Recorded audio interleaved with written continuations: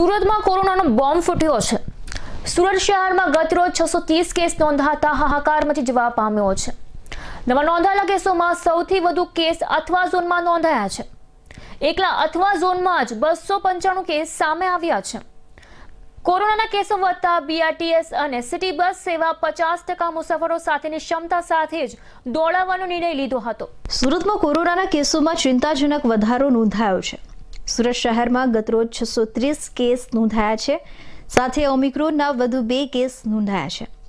પ્રથમ અને બીજી લહેરમાં સૌથી વધુ સંક્રમિત બનેલું અઠવા ઝોન, ત્રીજી લહેરમાં પણ અઠવા ઝોન એપી સેન્ટર બન્યું છે.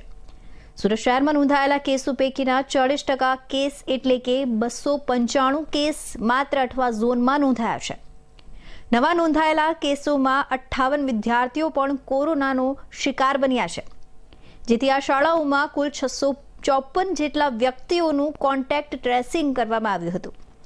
સુરતના પોસ્ટ વિસ્તારમાં આખા પરિવારના સભ્યો સામૂહિક રીતે સંક્રમિત બનતા ફફડાટ ફેલાયો છે.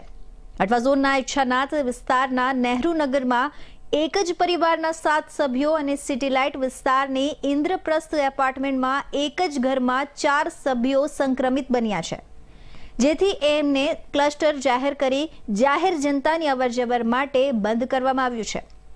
જેથી કુલ ત્રણસો તેતાળીસ ક્લસ્ટર ઝોન થયા છે. પાલિકાના આરોગ્ય વિભાગે સોશિયલ ડિસ્ટન્સનું પાલન કરવા બીઆરટીએસ તેમજ સિટી બસમાં હવેથી પચાસ ટકા મુસાફરોની ક્ષમતા રાખવા આદેશ કર્યો છે. નવા દર્દીઓ પૈકી પાલના ગ્રીન સિટી એપાર્ટમેન્ટમાં છ અને નક્ષત્ર સોલિટરમાં ત્રણ છે. જે તમામ એક જ પરિવારના છે. પાલિકાએ બંને એપાર્ટમેન્ટને ક્લસ્ટર જાહેર કરી બંધ કરાવ્યા હતા. આ જ રીતે પીપલોદના ઓપેરા હાઉસમાં ચાર અને આવિષ્કાર રેસિડેન્સીમાં પણ ચાર લોકો પોઝિટિવ આવ્યા હતા. જે એક જ પરિવારના છે. કતારગામમાં ગજેરા સર્કલની લક્ષ્મી સોસાયટીમાં પણ એક જ પરિવારના પાંચ લોકોનો રિપોર્ટ પોઝિટિવ આવ્યો હતો.